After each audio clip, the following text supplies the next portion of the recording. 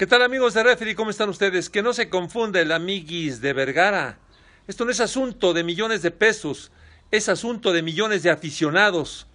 Y la diferencia, créanme, es abismal. Hay quienes lo notan y hay quienes no.